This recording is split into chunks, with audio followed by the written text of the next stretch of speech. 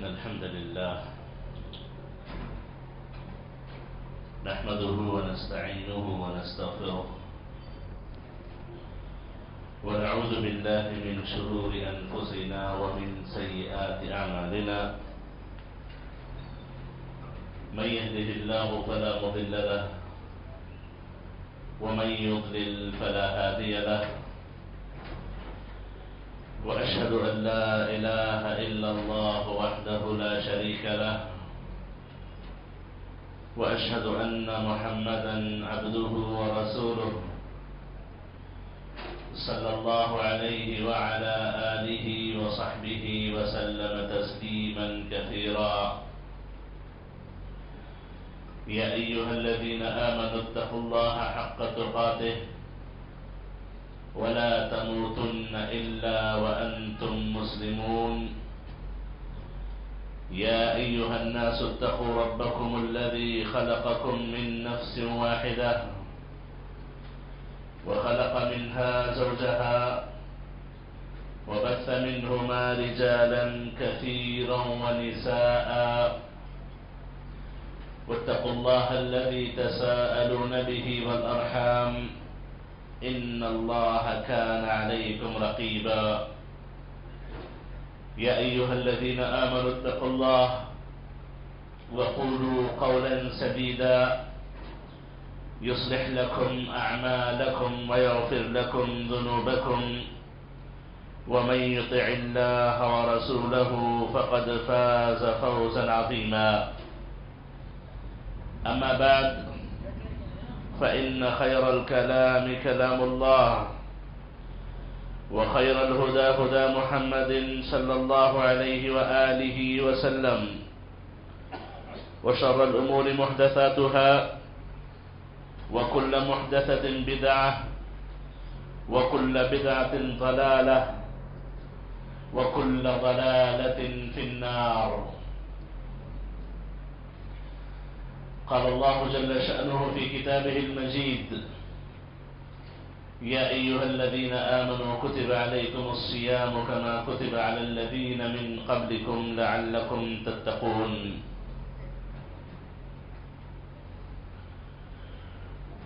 قابل احترام حاضرین جمعہ تو ہم اللہ تعالیٰ کے شکر گزار ہیں کہ اس نے ہمیں زندگی، صحت اور ایمان کی دولت سے مالا مال رکھا ہے۔ اور اللہ تعالیٰ سے دعا وہ ہیں کہ اللہ تعالیٰ ایمان و صحت کے ساتھ ہمیں ماہ مبارک کو پانے اور اس سے صحیح معنوں میں استفادہ کرنے کی توفیق نصیب فرمائے۔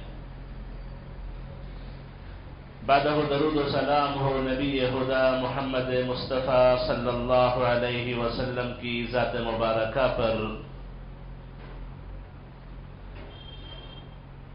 جن کی زندگی کا ہر عمل، جن کی زندگی کا ہر فعل، جن کی زندگی کی ہر بات۔ ہمارے لیے کامیابی کی ضمانت ہے۔ ہمارے لیے مشعل راہ ہے۔ اور ہماری دنیا و آخرت کی کامیابی کا ایک بہت بڑا ذریعہ ہے۔ صلی اللہ علیہ وعلى آلہ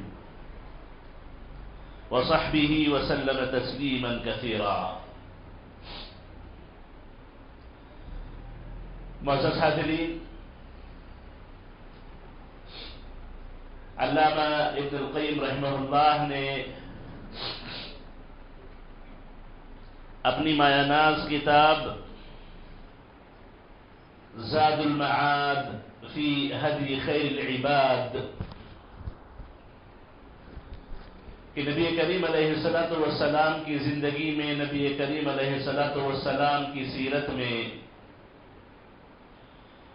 اللہ تعالیٰ نے آخرت کے کیا کیا توشے رکھے ہیں۔ اس پر ایک بڑی بہترین کتاب لکھی، عنوان رکھا زاد المعاد فی حدی خیر العباد۔ اللہ کے نبی علیہ السلام والسلام کی زندگی کے تمام گوشوں کو لے کر کے اس سے ایک مسلمان کو کیا فائدہ اٹھانا چاہیے؟ اللہ کے نبی علیہ السلام والسلام کی سیرت سے اس کے لیے کیا کیا عبرتیں اور کیا کیا نصیحتیں ہیں؟ اس کو بڑے اچھے انداز سے بیان کیا ہے۔ اگر کوئی اس کتاب کو سمجھ کر کے پڑھ لے اور اپنی زندگی میں اس پر عمل پیدا ہو جائے تو اس کی زندگی اسی دنیا میں ایک بہترین زندگی صحابہ کے طرز پر چلنے والی زندگی ہو سکتی ہے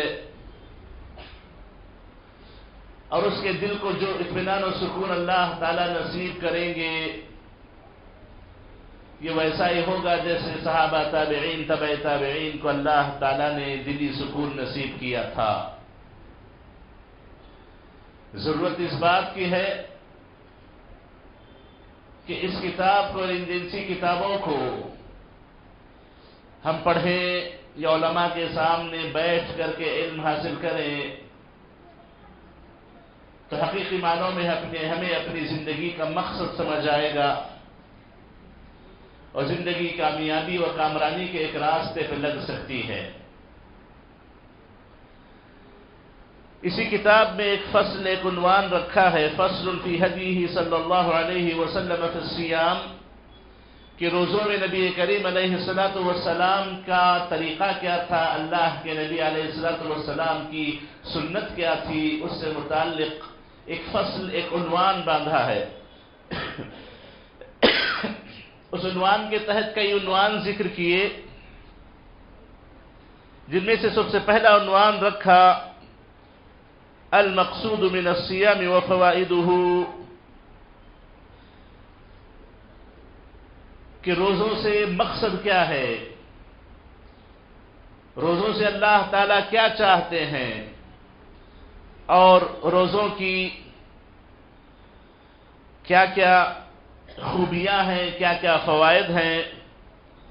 اس سے متعلق امام ابن القیم رحمہ اللہ نے بڑی تفصیل سے بحث کی ہے۔ سب سے پہلے میں اس کو پڑھ کر کے آپ کے سامنے اس کا ترجمہ کرتا ہوں۔ کہتے ہیں کہ لما كان المقصود من الصيام حبس النفس عن الشهوات وفطامها عن المألوفات وتعديل قوتها الشهوانية لتستعد لطلب ما فيه غاية سعادتها ونعيمها. وقبول ما تزكو به مما فيه حياتها الأبدية. ويكسر الجوع والظمأ من حدتها وسورتها.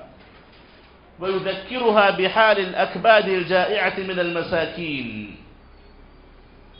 فرماتے ہیں کہ روزوں کے مقاصد میں سے یہ ایک مقصد ہے کہ انسان کے نفس کو اس کی شہوتوں سے روکا جائے اور انسان کے نفس کو ان چیزوں سے جس کا وہ عادی ہو چکا ہے، جس سے اس کو محبت ہو چکی ہے، صبح و شام جس کا وہ عادی ہو چکا ہے، اس سے اسے ہٹایا جائے، اس سے اسے دور کیا جائے، اس کی عادت چھڑائی جائے اور اس کی جو شہوانی قوتیں جو اللہ تعالیٰ نے اس کے اندر رکھی ہیں اس کو کم کر کے اس قابل بنایا جائے کہ وہ ان شہوانی قوتوں کے ذریعے جو حقیقی سعادت مندی اسے حاصل کرنی ہے، جو نعمتیں اسے حاصل کرنی ہے، اس کو حاصل کرنے کے لیے وہ تیار ہو جائے۔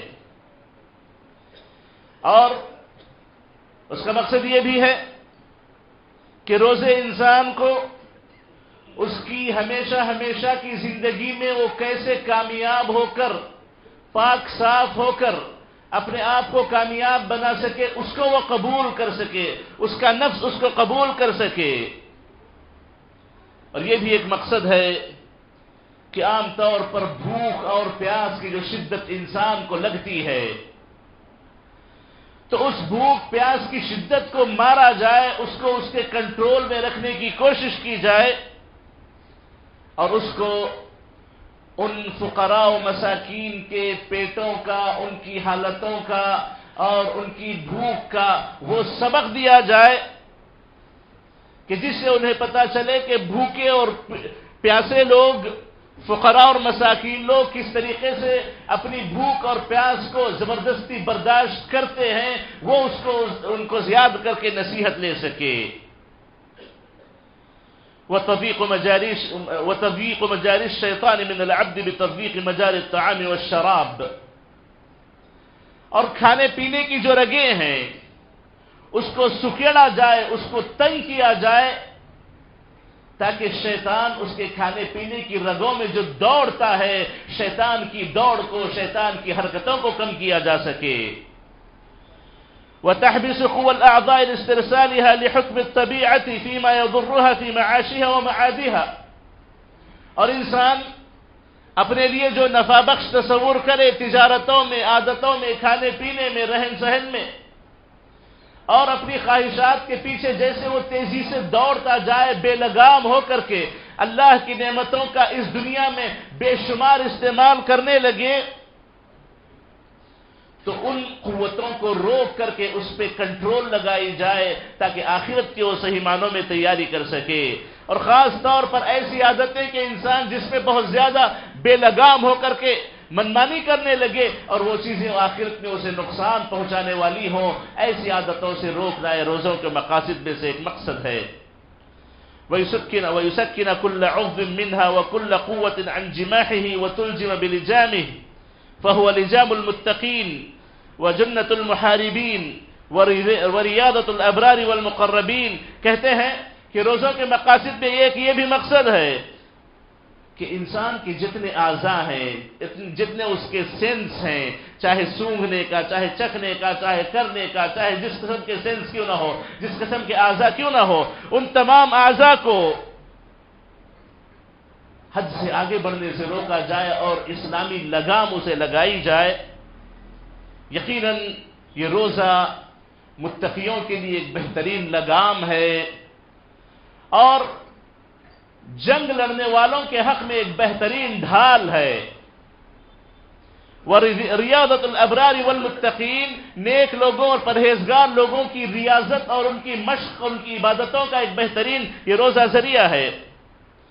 فإن الصائم لا يفعل شيئا وهو لرب العالمين من بين اور روزے کی خاصیت یہ ہے کہ تمام نیکیوں کے مقابلے روزہ خصوصی طور پر اللہ کے خاطر ہوتا ہے۔ اللہ نے اس کی نسبت اپنے طرف خاص طور پر کی ہے۔ نماز کے مقابلے، حج کے مقابلے، دوسری تمام نیکیوں کے مقابلے۔ اور کہتے ہیں، فَإِنَّ الصَّائِمَ لَا يَفْعَلُ شَيْئًا وَإِنَّمَا يَتْرُقُ شَهْوَتَهُ وَطَعَامَهُ وَشَرَابَهُ مِنْ أَجْلِ مَعْبُودِهِ۔ روزہ، روزے دار بہت بڑے کام نہیں کرتا ہے، بلکہ کیا کرتا ہے روزے دار؟ اپنی شہوت جو ہوتی ہے اسے وہ چھوڑتا ہے۔ کھانے پینے کو چھوڑ دیتا ہے۔ اپنے رب کی خاطر، اپنے اللہ کی رضا کی خاطر۔ فہو ترک محبوبات النفس و تلذذاتها ایثارا لمحبت اللہ و اس میں گویا وہ اپنی محبوب چیزوں کو، اپنی لذت بھری چیزوں کو چھوڑتا ہے اور اللہ تعالیٰ کی مرضی اور اللہ کی محبت کو سب سے اوپر رکھتا ہے۔ اللہ کی محبت، اللہ کی مرضی کو اپنی لذتوں، اپنی محبوب چیزوں سے زیادہ اونچا مقام دے دیتا ہے۔ وہ سر بین العبد وربه لا يطلع عليه سوا اب کون اس کو کتنا مقام دیتا ہے؟ یہ اللہ اور بندے کے درمیان ایک راز ہے جس کو اللہ کے علاوہ کوئی نہیں پہچان سکتا۔ والعباد قد يطلعون منهم على ترك المفطرات الظاهرة. بندے ہو سکتا ظاہری طور پر ظاہری طور پر جو چیزیں روزے کو چھوڑتی ہیں، روزے کو توڑتی ہیں، ان کو ہو سکتا ہے دیکھ لے، پہچان لے۔ وَأَمَّا كَوْنُهُ تَرَكَ طَعَامَهُ وَشَرَابَهُ وَشَهْوَةُ مِنْ أَجْلِ مَعْبُودِهِ فَهُوَ أَمْرٌ لَا يَطَّلِعُ عَلَيْهِ بَشَرٌ۔ ہاں یہ بندہ کھانے سے رک گیا، پینے سے رک گیا، جھگڑے سے رک گیا، فلاں سے رک گیا، یہ تو دکھائی دیتا ہے، لیکن وہ کس لیے رکا ہے؟ اللہ کی خاطر رکا ہے یا کوئی اور اس کا مقصد ہے، کہتے ہیں کہ اس کو کوئی انسان نہیں پہچان سکتا۔ وَذَلِكَ حَقِيقَةُ الصَّوْمِ۔ روزے کی یہی حقیقت ہے۔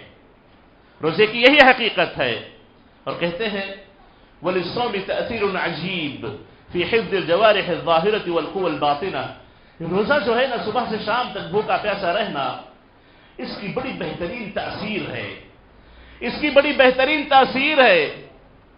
تاثیر اس کی ایسی ہے کہ ظاہری اعضا کو کیسے محفوظ رکھا جائے، اندر کی داخلی قوتوں کو کیسے محفوظ رکھا جائے، اس کی سوچ کو، اس کی خواہش کو، اس کے جذبات کو کیسے کنٹرول کیا جائے، اس پر روزے کو بڑی ہی بہترین حیثیت حاصل ہے اور بڑی تاثیر اللہ تعالیٰ نے روزے میں رکھی ہے کہ روزہ انسان کے ان ظاہری قوتوں اور باطنی قوتوں پر بڑی اچھی تاثیر رکھتا ہے، بڑا اچھا اثر چھوڑتا ہے۔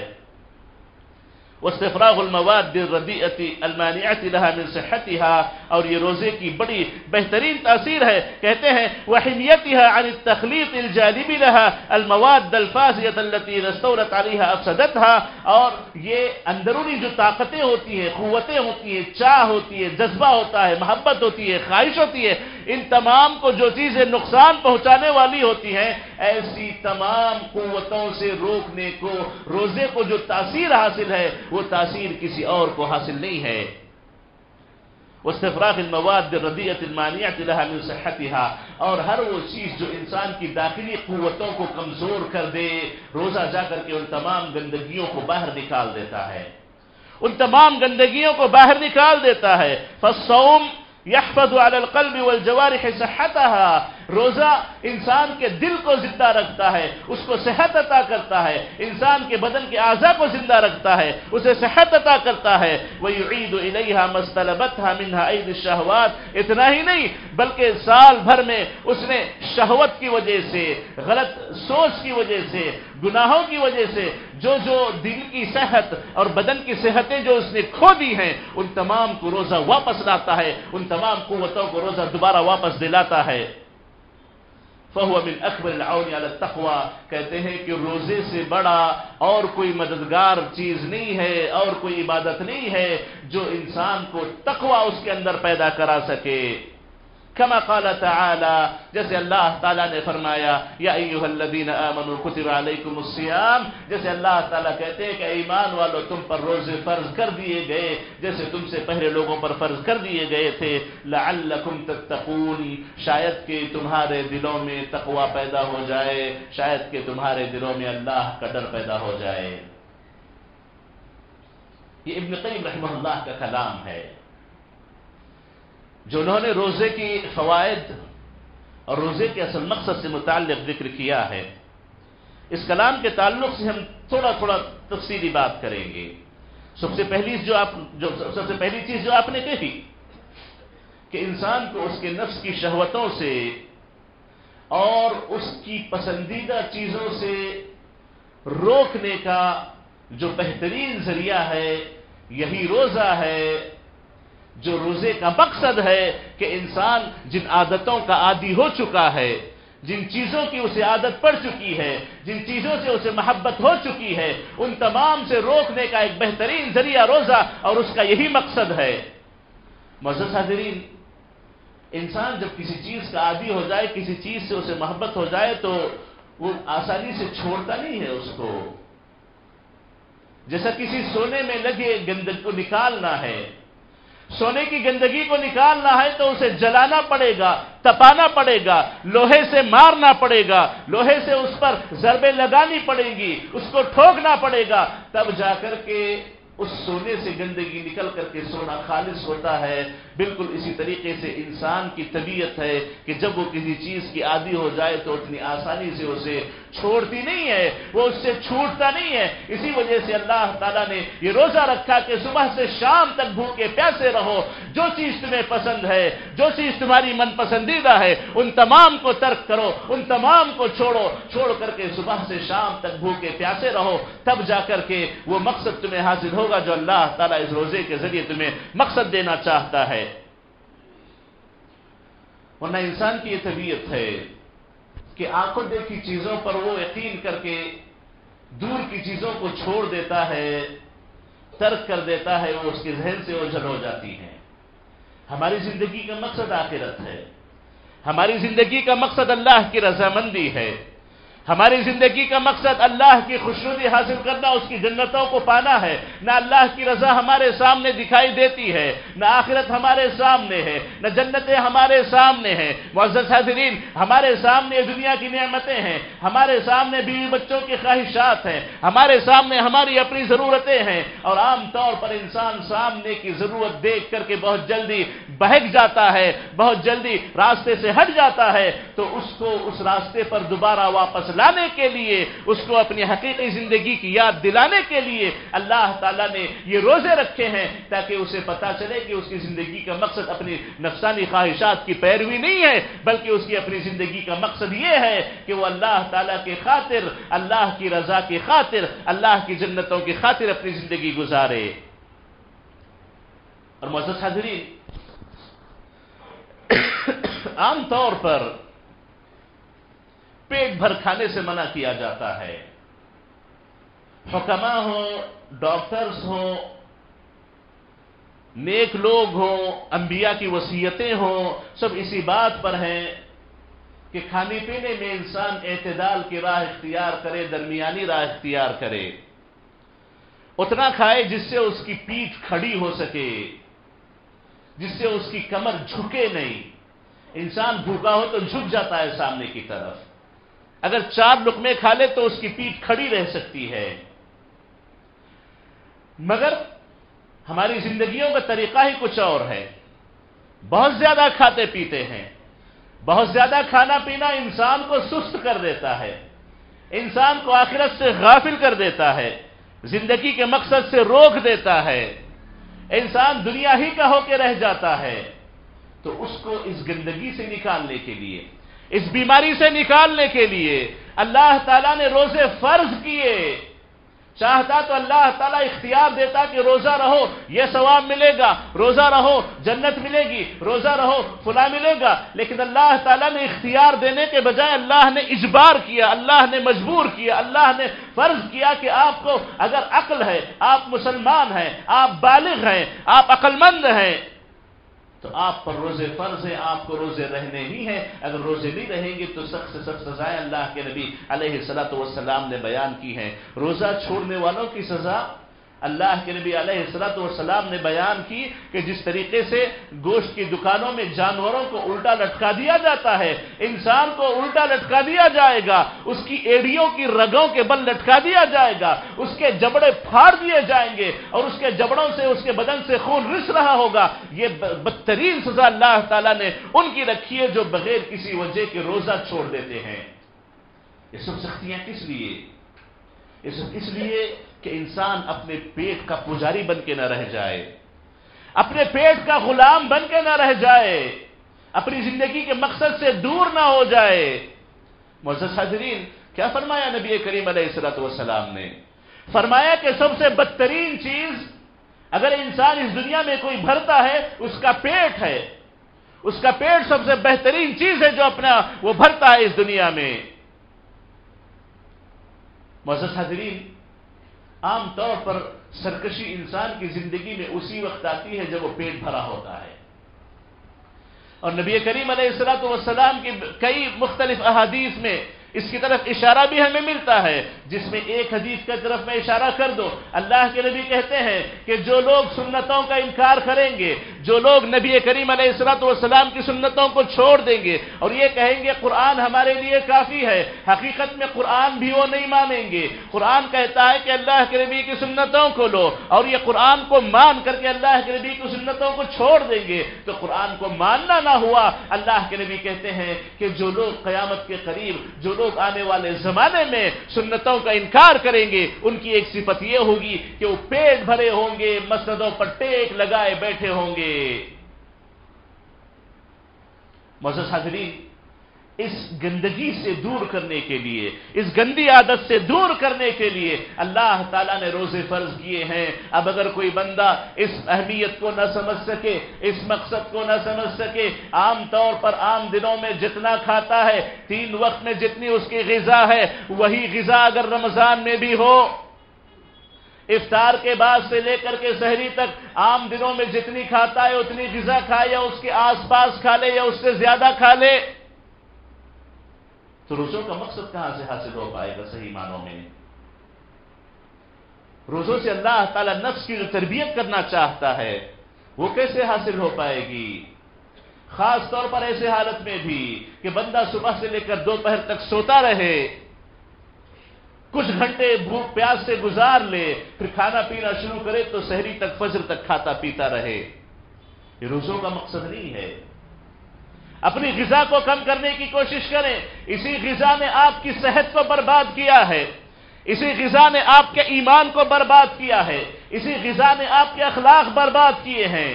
کھلو و شبو اللہ تصریفو اللہ تعالیٰ کا ایک قاعدہ ہے۔ کھاؤ، پیو، لیکن اسراف کرنے سے بچو۔ اور اسراف یہ ہے کہ آپ کی غذا میں اتنی بڑھوتری ہو جائے کہ جو آپ کو شریعت کے دائرے سے نکال دے۔ اسراف یہ صرف نہیں کہتے اسراف صرف اس کو نہیں کہتے کہ کھانا اٹھا کے پھینک دیں برتن کا کھانا برتن میں رکھ کے دھو دیں یا غذا کو برباد کر دیں، اسراف یہ بھی ہے کہ آپ اپنے پیٹ میں اتنی غذا ڈالیں جو جا کر کے آپ کی صحت کو نقصان پہنچائے، آپ کی عادات کو نقصان پہنچائے، آپ کے اخلاق کو نقصان پہنچائے۔ یہ تمام چیزیں اسراف میں آتی ہیں۔ کیونکہ غذا کس لیے لی جاتی ہے؟ اللہ کے نبی نے کہا بے ابن آدم بے امرئن لقیمات یقن صلبہ۔ ایک انسان کے لیے کچھ رقمے کافی ہیں جو اس کی پیٹھ کو سیدھا کھڑی کر سکیں۔ اتنے لقمے اس کے لیے کافی ہوتے ہیں۔ تو روزے کے مقصد کو ہم نے چھوڑ دیا۔ روزے کا مقصد ہماری نظروں سے فوت ہو گیا، چھوٹ گیا۔ ہم یہ سمجھتے ہیں، بلکہ حقیقت بھی ہے کہ رمضان میں کتنا بکتا ہے، رمضان میں کتنی ہوٹلیں چلتی ہیں۔ عام دنوں میں ہوٹلوں کا اتنا بیوپار نہیں ہوتا جتنا رمضان میں ہوتا ہے۔ عام دنوں میں فروٹس اتنے نہیں بکتے جتنے رمضان میں بکتے ہیں۔ عام دنوں میں اتنا گوشت استعمال نہیں ہوتا جتنا رمضان میں استعمال ہوتا ہے۔ ہم نے رمضان کو کیا بنا رکھا؟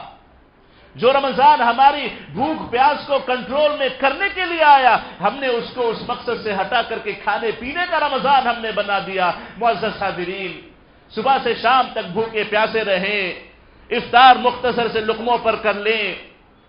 جا کر کے تراویح کی نماز پڑھیں۔ آپ کا پیٹ آپ کے لیے بوجھ نہ بنا ہوا ہو۔ نماز کے لیے ٹھہرے تو پیٹ بھر کے ڈکارے آپ سے نہ نکلتی رہیں۔ اطمینان سے آپ تراویح کی نماز پڑھیں۔ اس کے بعد گھر جا کر کے آرام کریں۔ آخری وقت میں اٹھ کر کے کچھ دعائیں کر لیں۔ ایک دو رکعت کی توفیق ہو تو وہ پڑھ لیں۔ پھر سحری مختصر انداز میں بالکل فجر کے قریب آپ کر لیں۔ روزانہ کا رمضان کا روٹین بنا لیں تو قسم اللہ کی، یہ رمضان آپ کے ایمان کو، آپ کی صحت کو، آپ کے اخلاق کو، آپ کے عادات کو بالکل بدل کے رکھ دے گا۔ لیکن ہم نے وہ طریقہ نہیں اپنایا۔ ہم نے کوئی اور راہ چلی ہے۔ ہم نے کسی اور راستے کو اختیار کیا ہے۔ روزے کے مقصد ہم نے فوت کر دیے۔ اس رمضان کوشش کریں۔ اس رمضان کوشش کریں۔ مختصر غذا رکھیں۔ وقت زیادہ عبادت میں لگائیں، زیادہ سے زیادہ اپنے آپ کو اللہ کی رضا کے لیے لگائے رکھیں۔ کہ رمضان کی گھڑیاں بار بار نہیں ملتی رمضان کی ساعتیں بار بار نہیں ملتی جس طریقے سے تیزی سے ہمارے دن گزرتے جا رہے ہیں، رمضان بھی اتنی تیزی سے گزر جائے گا۔ ابھی رمضان کے آج ہم انتظار میں ہیں، ابھی کچھ ہی دن گزریں گے، رمضان ہمارے ہاتھوں سے نکل جائے گا۔ اگر ہم نے اپنی تربیت صحیح معنوں میں نہ کی ہو، روزے کے مقصد کو ہم نے اگر نہ پایا ہو، تو رمضان کا فائدہ ہی کیا ہے؟ اور معزز حاضرین، نبی کریم علیہ السلط والسلام نے جو کہا کہ شیطان انسان کے بدن میں خون میں رگوں کی طرح دوڑتا ہے، اس کی اگر دوڑ کو اپنے اندر کم کرنا ہے، شیطان کے وسوسوں سے اپنے آپ کو بچانا ہے، شیطان کے شر سے اپنی حفاظت کرنی ہے کھانے پینے میں کمی کریں، شیطان کی دوڑ کم ہوگی، شیطان کے وسوسے کم ہوں گے، شیطان کا شر کم ہوگا۔ روزے کے مقاصد میں یہ بھی ایک مقصد ہے تفویق مجار الشیطان من العبد بتفویق مجار الطعام والشراب۔ جتنا پیٹ بھر کے کھائیں گے، پیئیں گے، شیطان اتنا زیادہ آپ کے خون میں دوڑے گا، آپ کے بدن میں دوڑے گا، آپ کی رگوں میں دوڑے گا۔ محسوس حاضرین، بچنا چاہیے، شیطان کو بہت زیادہ اپنے اندر جگہ نہ دیں۔ شیطان ہمارے ہر عمل میں داخل ہوتا ہے، شیطان ہماری ہر سوچ میں داخل ہوتا ہے، شیطان ہمارے گھروں میں بسا ہوا ہے، شیطان ہماری سوچ میں بسا ہوا ہے۔ اس کے نکالنے کے ذرائع میں سے ایک بہترین ذریعہ یہ روزہ ہے کہ جس کے ذریعے بھوک، پیاس کے ذریعے آپ شیطان کے وہ سزوں سے اپنے آپ کو بچا سکتے ہیں، روک سکتے ہیں۔ وہ کیا فائدہ کہ صبح سے شام تک بھوکے رہ گئے، شام سے صبح تک وہ پیٹ آپ نے بھرا، وہ پیٹ آپ نے بھرا کہ شیطان کو دوبارہ وہی جگہ دی، جہاں سے شیطان کو اللہ نے نکالنا چاہا، ہم نے دوبارہ لا کر کے شیطان کو وہیں پہ بسا دیا۔ اور مسد حاضرین، اگر آپ اپنی آنکھوں کو آزاد چھوڑ دیں، آپ اپنے کانوں کو آزاد چھوڑ دیں، آپ اپنے پیسے میں من مانی خرچ کرنے لگیں آپ اپنی سہولتوں کو منمانی طور پر استعمال کرنے لگیں تو انسان کی طبیعت ہے کہ وہ انسان اعتدال کی راہ پہ نہیں رہتا، بہت آگے نکل جاتا ہے۔ بہت آگے نکل جاتا ہے۔ ان سب سے روکنے کے لیے روزہ رکھا گیا ہے۔ ان سب سے روکنے کے لیے روزہ رکھا گیا ہے کہ انسان اپنی طبیعت کی چیزوں میں بہت زیادہ آزاد نہ ہو جائے۔ سلف صالحین میں سے ایک سلفی عالم کے تعلق سے آتا ہے۔ کہ انہوں نے اپنے بیٹے کو دیکھا کہ کوئی من پسند چیز بنا کے وہ کھا رہا ہے۔ پوچھا کہ یہ کیا کھا رہے ہو؟ کہنے لگا کہ دل نے چاہا تھا کہ کچھ کھا لو، تو میں نے اس کو لے لیا، میں اس کو کھا رہا ہوں۔ تو کہنے لگے کہ تم کب سے ایسے ہو گئے کہ جو دل چاہا کھانے لگے، جیسے دل چاہا کھانے لگے۔ اس میں اس بات کی نصیحت ہے کہ من جو چاہے وہ آپ کھاتے رہیں، من جو چاہے وہ آپ کرتے رہیں۔ من جو چاہے آپ اپنے پیر پھیلاتے رہیں، اپنا پیسہ خرچ کرتے رہیں، وہیں سے بگاڑ پیدا ہوگا، وہیں سے شیطان داخل ہوگا، وہیں سے آپ اللہ کی اللہ کی مرضی سے، اللہ کی رضا سے، اللہ کی شریعت سے دور ہوتے جائیں گے۔ اور روزہ ان تمام چیزوں کو روکنے کے لیے آتا ہے۔ روزہ ان تمام چیزوں کے سدھار کے لیے آتا ہے۔ گویا روزہ لگام ہے آپ کی شہوتوں پر، آپ کے شوق پر آپ کی پسند پر، آپ کے منمانی فیصلوں پر روزہ لگام کا کام کرتا ہے۔ اور اگر روزہ لگام نہ بنے، بلکہ بغرب کے بعد سے لے کر کے شہری تک من پسند چیزیں کھائی پی جانے لگے من پسند خریدی ہونے لگے من پسند تجارتیں کرنے لگے، تو روزے کا حقیقی مقصد حاصل نہیں ہوگا، روزے کا حقیقی فائدہ حاصل نہیں ہوگا۔ یہی وجہ ہے، یہی وجہ ہے کہ ہم میں سے ہر ایک شخص جمعہ سے جانے کے بعد اپنے اپنے گھر پہ یا کسی بھی تنہائی میں بیٹھ کر کے غور کرے کہ اتنے رمضان مجھ پر سے گزرے، کس کس رمضان کے بعد میرے اندر کیا کیا تبدیلی آئی، کیا کیا بھلائی پیدا ہوئی، اپنا محاسبہ کریں تو قسم اللہ کی ہم میں سے تقریباً نوت فیصد لوگوں کا یہی جواب ہوگا کہ کوئی خاص فائدہ ہمیں رمضان سے حاصل نہیں ہوا۔ اللہ من رحم اللہ، سوائے اللہ کے خاص بندوں کے جن کو اللہ توفیق دے دے، رمضان ان کو سدھارتا ہے، رمضان ان کی زندگی کے چلن کو بدل دیتا ہے، صحیح راستے پہ لگا دیتا ہے۔ اور مزہ حاضرین، ایک اور چیز جو یہاں پر ابن قیم رحمہ اللہ نے ذکر کی یہ کہا کہ دیکھو، انسان یہ تو سمجھ لیتا ہے کہ میں جب میں روزہ رہوں صبح سے شام تک۔ میں نے کھانا نہیں کھایا، میں نے پانی نہیں پیا، میں اپنی بیوی سے دور تھا، میں نے گالی گلوز نہیں کی، میں نے جھگڑا نہیں کیا، میں نے کوئی غلط حرکتیں نہیں کی، میں نے اپنے آپ کو سب سے رو کے رکھا۔ یہ تو ہمیں پتہ چلتا ہے۔ لیکن کیا ہمیں یہ بھی پتا چلتا ہے کہ یہ سب کچھ ہم نے اللہ کے لیے کیا ہے؟ کیا اس بات کی ہمیں گارنٹی ہے؟ کیا اس بات کی ہم ضمانت دے سکتے ہیں کہ ہم نے اللہ کی خاطر کھانا چھوڑا، اللہ کی خاطر جھگڑا چھوڑا، اللہ کی خاطر شہوت چھوڑی، اللہ کی خاطر من پسند چیزیں ہم نے چھوڑی، اللہ کی خاطر ہم نے گالی گلوچ چھوڑا۔ کیا اس بات کی وہ گواہی دے سکتے ہیں؟ کہتے ہیں کہ یہی روزے کی حقیقت ہے۔ یہی روزے کی حقیقت ہے۔ اس حقیقت کو پانے کی کوشش کریں۔ یہی تقوی ہے۔ یہی اللہ تعالی ہمارے دلوں میں پیدا کرانا چاہتا ہے۔ بھوکا پیاسا رہ جانا کوئی بڑی بات نہیں ہے۔ صبح سے شام تک بھوکے پیاسے رہ جاتے ہیں۔ لیکن کیوں بھوکے پیاسے ہیں؟ کیوں تکلیف برداشت کی؟ اس پر غور و فکر کریں۔ اس پر غور و فکر کریں۔ اس کو سدھارنے کی کوشش کریں۔ اگر یہ مل جائے تو کہتے ہیں، ابن قیم رحمہ اللہ، وَذَلِكَ حقیقت السیام روزوں کا یہی یہی انجام ہے۔ روزوں کی یہی حقیقت ہے۔ روزوں کے اندر کا یہی مغز اور مقصد ہے۔ اس کو اگر تم نے پا لیا تو سب کچھ تم نے پایا۔ اگر یہ تم نے نہ پایا تو صبح سے شام تک کی بھوک و پیاس سے تم نے کچھ نہیں پایا۔ اسی وجہ سے اللہ کے نبی علیہ السلام والسلام فرماتے ہیں، رب صائم رب صائم لیس حفظه من صیامه الجوع والعطش۔ کتنے ایسے روزے دار ہیں کہ جن کو ان کے روزے کے بدلے میں سوائے بھوک، پیاس کے کچھ نہیں ملتا۔ صبح سے شام تک بھوکے ہیں بھوکے ہیں۔ صبح سے شام تک پیاسے ہیں پیاسے ہیں۔ اس کے علاوہ اور ان کے پلے کچھ نہیں پڑتا اور ان کے ہاتھ کچھ نہیں آتا۔ تو معزز حاضرین ابن قیم کے اس کلام کو سمجھنے کی کوشش کریں، اپنے آپ کو اندر سے بدلنے کی کوشش کریں، اپنے آپ کی سدھار کی کوشش کریں۔ یہ روٹین والا رمضان نہیں ہے، یہ ایک عادت والا رمضان نہیں ہے، یہ چل چلاؤ کا مہینہ نہیں ہے، یہ بس ایسی گزارنے والی بات نہیں ہے۔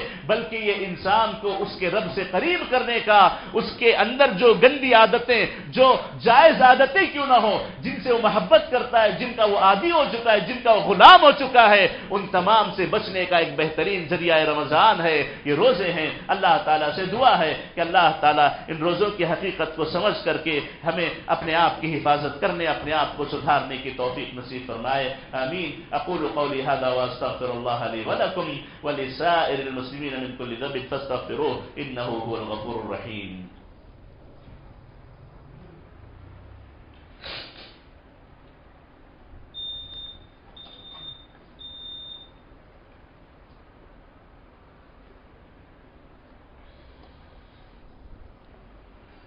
الحمد لله رب العالمين والصلاة والسلام على نبينا محمد وعلى آله وصحبه أجمعين ومن تبعهم بإحسان إلى يوم الدين. أما بعد. معزز حاضرین، ابن قیم رحمہ اللہ نے اس کے بعد جو بات کہی، وہ بہت بڑی پتے کی بات ہے۔ اس کو مختصر انداز میں آپ کے سامنے رکھتا ہوں۔ کہتے ہیں کہ دیکھو، جو بدن آپ کو ملا ہے، جو ہاتھ، پیر، آنکھ، ناک آپ کو ملے ہیں، اس کی حفاظت یہ انسان کی ذمہ داری ہے اور روزہ اس کی حفاظت میں بڑا اثر انداز ہوتا ہے اس کی بڑی تاثیر ہے۔ یہ ان کی حفاظت کرتا ہے۔ اس کے اندر جو پہلے سے گندگیاں پہنچ چکی ہوں، جو بری عادتیں پڑ چکی ہوں جو برے اخلاق پیدا ہو چکے ہوں، روزہ ان عادتوں سے انسان کو دور کرتا ہے، اتنا ہی نہیں، بلکہ آگے آنے والی زندگی میں بھی ان عادتوں سے کیسے رکا جائے، ان کو کیسے محفوظ رکھا جائے، اس کی حفاظت کیسے کی جائے، اس کی تاثیر بڑی بہتر انداز میں اللہ تعالیٰ نے روزے کے اندر رکھی ہے۔ اس حیثیت سے روزے کو آپ قبول کریں۔ اس حیثیت سے روزے کو آپ رکھیں کہ صحابہ کی زندگیوں کو آپ پڑھیں۔ دو چار دن ہے جس سے رمضان شروع ہو جائے گا۔ رمضان میں صحابہ کی زندگیوں کو آپ پڑھیں، صحابہ کے دن و رات کو آپ پڑھیں، پھر اس کو سامنے رکھ کر کے اپنی زندگیوں کو دیکھنے کی کوشش کریں، پھر ان دونوں کے درمیان جو فرق آپ کو نظر آئے، اس فرق کو دور کرنے کے لیے روزہ سب سے بہترین تاثیر والا عمل ہے۔ روزہ سب سے بہترین تاثیر والا عمل ہے۔ اپنے آپ کو ان جیسا بنانے کی کوشش کریں۔ اپنے آپ کو ویسے اخلاق والا بنانے کی کوشش کریں۔ اپنے اندر کی ان بری عادتوں کو نکالنے کی کوشش کریں۔ کسی کی زبان گندی ہے، کسی کی سوچ گندی ہے، کسی کی نظر گندی ہے، کسی کی عادات گندے ہیں، کسی کا چلنا پھرنا غلط ہے، کسی کا اٹھنا بیٹھنا غلط ہے۔ ان تمام کے سدھار کا ذریعہ یہ روزہ ہے۔ اس روزے کے ذریعے اپنے آپ کو سدھاریں، اپنی غلط عادتوں کو چھوڑیں، اپنی غلط عادتوں سے اپنے آپ کو واپس لانے کی کوشش کرے۔ اللہ نے روزے میں تاثیر رکھی ہے، لیکن اس نیت کے ساتھ بندہ اگر کر لے تو اللہ تعالیٰ اس کو یقیناً کامیاب کرتے ہیں، اس کی حفاظت کر لیتے ہیں۔ اسی وجہ سے نبی کریم علیہ السلط والسلام نے روزوں کے تعلق سے، رات کے قیام کے تعلق سے کہا کہ جو بندہ روزے ایمان اور احتساب کے ساتھ رکھے، ایمان احتساب دو چیزوں کا خاص طور پر ذکر کیا۔ یہ نہیں کہا کہ روزہ رکھ لو، گناہ معاف ہو جائیں گے، قیام اللیل کر لو، گناہ معاف ہو جائیں گے، بلکہ اللہ کے نبی نے یہ فرمایا،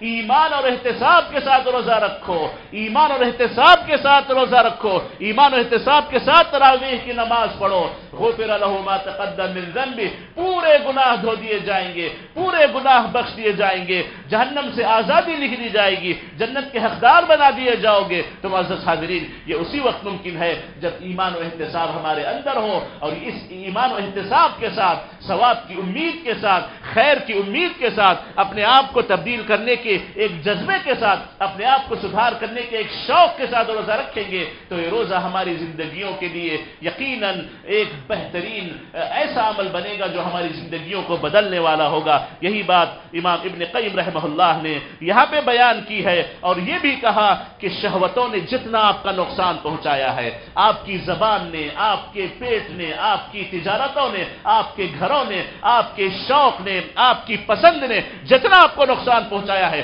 روزے تمام نقصانوں کو ختم کر کے فائدوں کو واپس لانے کی اپنے اندر بڑی عجیب تاثیر رکھتے ہیں، یہ حقیقت ہے، یہ حقیقت ہے، یہ حقیقت ہے۔ اگر اس کو اس ایمان احتساب کے ساتھ رکھا جائے، تو ہماری زندگیاں بدل جائیں گی، ہماری سوچ بدل جائے گی، ہمارا ایمان بدل جائے گا اور ہماری زندگیوں کا چلن ہی صحابہ تابعین طبع تابعین کا چلن ہوگا۔ اتنا عظیم مہینہ اللہ تعالی ہمیں نصیب کرنے والا ہے۔ اتنی عظیم نعمت سے اللہ تعالی ہمیں مالا مال کرنے والا ہے۔ اس حقیقی نعمت سے ہمیں فائدہ اٹھانے کی ضرورت ہے، اس کو سمجھنے کی ضرورت ہے اس کو صرف بھوک پیاس کی طرح، ایک عادت کی طرح گزارنے کے بجائے اپنے آپ کو ان تمام مقاصد کے ساتھ آگے بڑھا کر کے اپنے آپ کو صحیح معنوں میں ایک سچا پکا مسلمان بنانے کی ضرورت ہے۔ تو معزز صادرین، جو میں نے باتیں آپ کے سامنے خطبے میں پیش کی ہیں، اس کو اپنے ذہن میں رکھ کر کے، اس کو اپنے نفس کو دوبارہ واپس صحیح راستے پر لانے، اپنی عادتوں کو سدھارنے، اپنے بگاڑ کو درست کرنے، ان تمام نیتوں کے ساتھ روزہ رکھیں،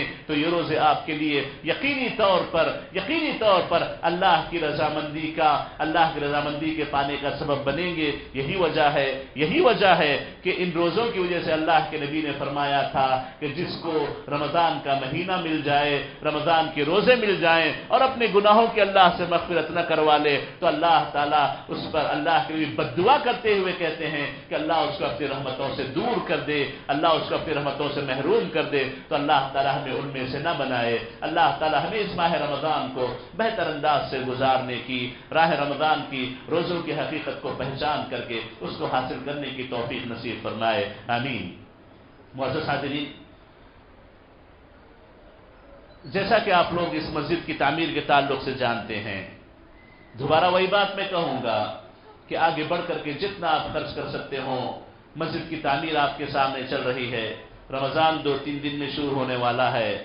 آپ اللہ کے راستے میں جس طریقے سے جیسی مدد کر سکتے ہو خود کریں، دوسروں کو لے کے آئیں، ان سے مدد کروائیں۔ اور رمضان کا مہینہ چونکہ خیر کا مہینہ ہے، صدقہ خیرات کا مہینہ ہے، اللہ کے راستے میں خرچ کرنے کا مہینہ ہے، اس مہینے میں بھی آپ اللہ کے راستے میں زیادہ سے زیادہ خرچ کریں۔ خرچ کر کے اس کو اس حد تک پہنچا دیں کہ آپ کا رمضان اطمینان و سکون سے گزر سکے اور کم از کم آپ کا آخری اشرہ آپ کا، آپ کی خواتین کا عبادتوں میں گزر سکے، عبادتوں میں اچھے انداز سے آپ اپنے آپ کو اس رمضان کے مہینے میں لگا سکیں، اس مقصد کو سامنے رکھتے ہوئے اللہ کے خاطر، اللہ کے اس گھر کی تعمیر میں، اس کی آبادی میں آپ حصہ لگائیں اور اگر کوشش اس بات کی آپ کر لیں کوشش اس بات کی آپ کر لیں اور مقصد اس بات کو آپ اپنی زندگی میں پھر وقت رمضان کے لیے بنا لیں کہ رمضان کے نکلنے سے پہلے کم از کم اتنا پیسہ یہاں پہ جمع کر دیا جائے اپنے جیب سے، ساتھیوں کی جیب سے، پہچان والوں کی جیب سے، اپنے واسطوں کی جیب سے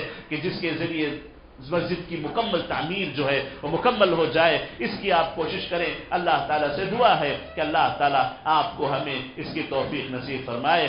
تمام معاملات جو آگے ہیں، اس کو آسان فرمائے۔ رمضان کے مہینے کی عبادتوں کو اس مسجد میں ہمیں پورے سکون و اطمینان کے ساتھ ادا کرنے کی توفیق نصیب فرمائے اور اللہ کے اس گھر کو آباد کرنے میں جو ہم سے مدد ہو سکتی ہے اللہ تعالیٰ اس کی ہمیں توفیق نصیب فرمائے اور اللہ تعالیٰ ہمارے لیے آسانیوں کے راستے، برکتوں کے راستے کھول دے۔ آمین۔ ربنا لا تؤاخذنا ان نسينا واخطأنا ربنا ولا تحمل علينا اسرا كما حملته الذين من قبلنا۔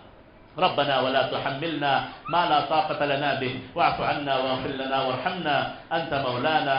فانصرنا على القوم الكافرين. ربنا آتنا في الدنيا حسنة وفي الآخرة حسنة وقنا عذاب النار. إن الله وملائكته يصلون على النبي. يا أيها الذين آمنوا صلوا عليه وسلموا تسليما. اللهم صل على محمد وعلى آل محمد كما صليت على إبراهيم وعلى آل إبراهيم إنك حميد مجيد. اللهم بارك على محمد وعلى آل محمد كما باركت على إبراهيم وعلى آل إبراهيم إنك حميد مجيد وارض اللهم عن الخلفاء الأربعة أبي بكر وعمر وعثمان وعلي وعن الصحابة أجمعين وعنا معهم بعفوك وكرمك.